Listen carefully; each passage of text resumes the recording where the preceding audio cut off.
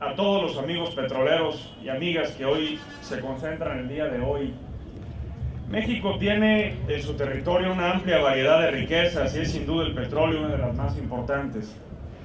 Han sido muchos los que se han unido para defender y proteger el petróleo como parte de nuestro patrimonio nacional.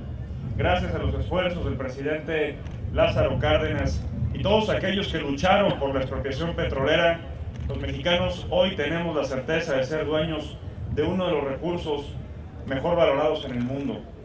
Este día lo dedicamos sin duda a conmemorar un gran logro para la historia de México.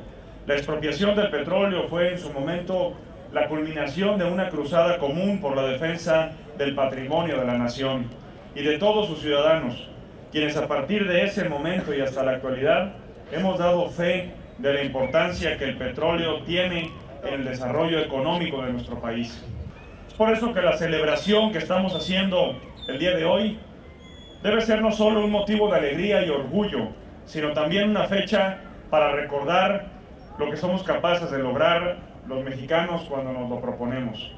Llevemos este ejemplo a todas nuestras responsabilidades diarias, el papel que cada uno de nosotros desempeñamos en la construcción de una sociedad más justa, equitativa y con oportunidades de desarrollo para todos.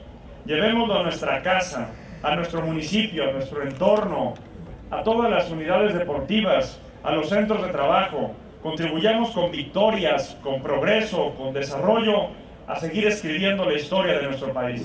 Muchas gracias y muchas felicidades.